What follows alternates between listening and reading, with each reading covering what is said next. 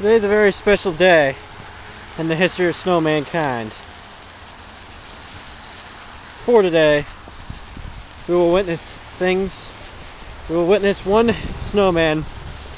This this terrible snowman. He wants to end his life. Well, maybe it's because he's blind. Perhaps. Yes, that may be it. But we shall grant him his wish today. Goodbye, snowman.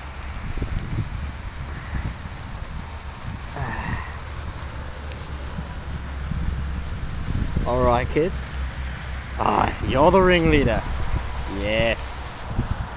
Okay. Yeah. I had way too much fun with this shit. Holy!